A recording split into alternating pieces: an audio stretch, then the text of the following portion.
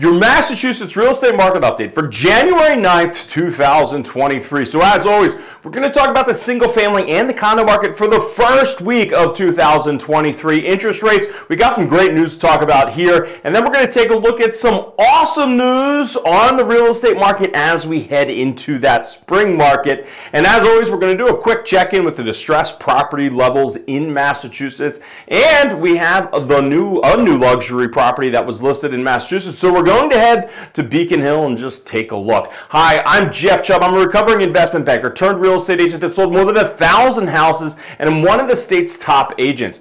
And if you like hearing about the Massachusetts real estate market, then be sure to hit that like and subscribe button below. But let's jump into the single family market. There were 3,402 single family homes on the market. So inventory increased and this is really great news for buyers as inventory levels, they were starting to get uncomfortably tight, quite frankly. So now take a look at the year over year inventory chart. And as you can see that year over year, we had some inventory growth this week.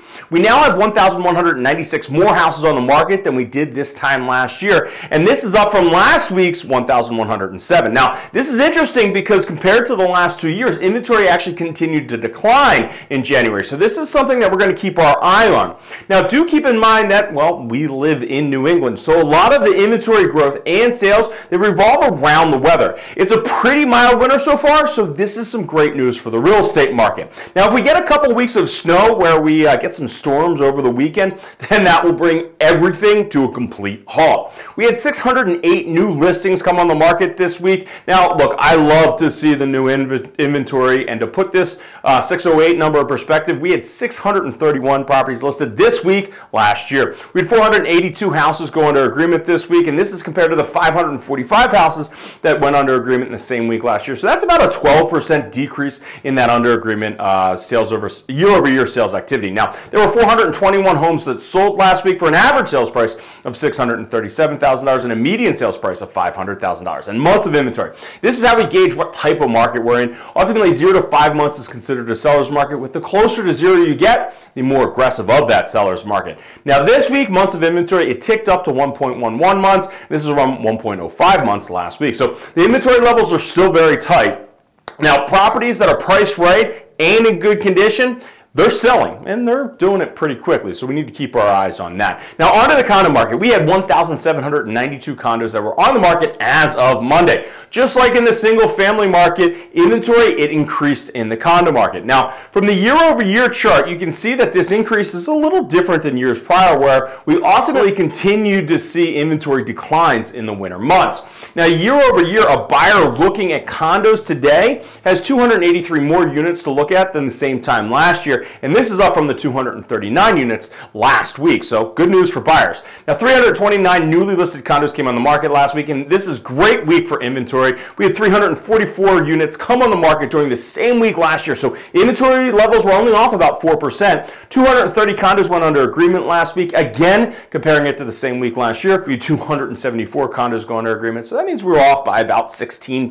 195 properties closed last week with an average sales price of 678 $468,000 and that median sales price of $465,000. Now last week, the average sales price was 487 so it looks like we had a bounce back and that week was ultimately just an outlier. Months of inventory, it increased this week to 1.56 months from last week's 1.47 months. Do you like hearing about what's going on in the Massachusetts real estate market? Then smash that like button and please consider subscribing. It makes a big difference to those YouTube gods. Let's talk mortgages. This was a great week for mortgages. Rates dropped with some products dropping nearly a half percent.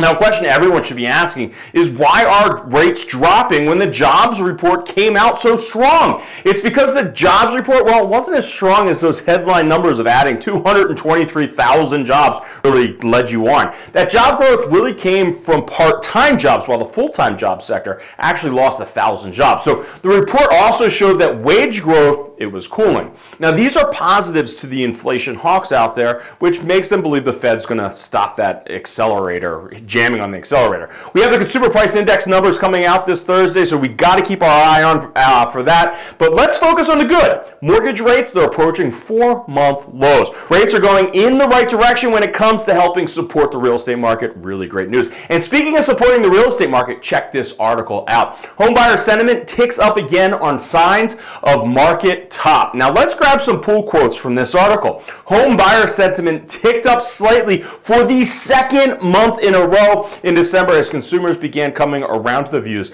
of economists that home prices and mortgage rates probably peaked last year. Yes, when you look at the graph, it is a minor improvement, but you know what? I'm going to take any improvement I can get. Now, the article also states that economists at the mortgage giant don't expect annual home price declines to exceed 1.5% at the national level. But some local markets are expected to see sharper declines, while others could continue to see price is appreciate. Now, I'm not going into my predictions of flat home prices for 2023 all over again, but I do have a video specifically on my 2023 uh, prediction for home prices, sales inventory levels, and interest rates, which I'm going to link at the description as well as put at the top of the screen there.